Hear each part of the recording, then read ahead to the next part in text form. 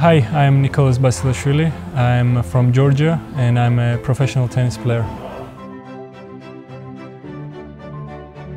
Uh, my passion uh, for, for, tennis came from, I don't actually remember because um, uh, my father decided to put me on in this sport and um, he really liked this sport.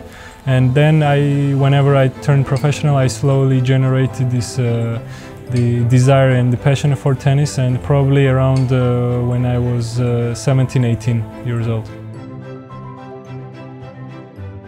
What comes in my mind first is whenever I qualified for Wimbledon uh, and uh, I won second uh, round match in the main draw against Feliciano Lopez. He's a very tough player on the grass court and uh, I think that was a huge step in my career.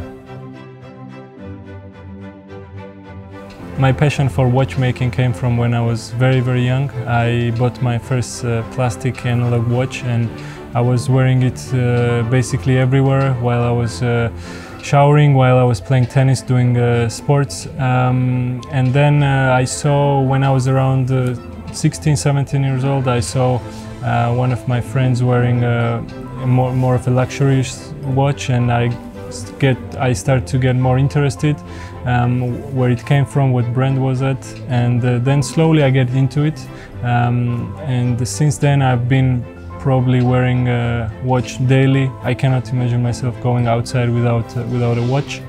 And um, it's like kind of becoming part of me, you know. And uh, it creates a very uh, interesting vibe. What kind of watch I put? Um, is it will be classy watch, more sportsy watch, and uh, um, yeah, in generally I, I really like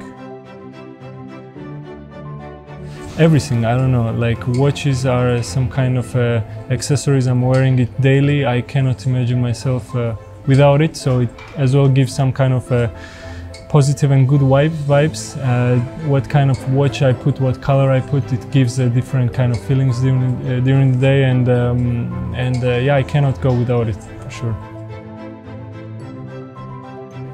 Uh, I really like in uh, Gerald Charles watches, first of all, obviously the name. Um, Mr. Gerald, uh, Gerald uh, Charles Genta designed the two most iconic uh, sports watches and uh, it created a, a, huge difference in generally in the luxury watch watches and what I what I really like as well is just in general this classy feeling with meets with sportiness.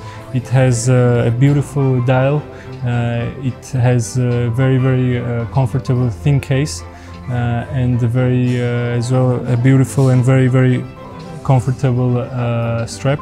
Um, and feels like you basically are not wearing anything and mm, it looks, in person, it looks even more stunning.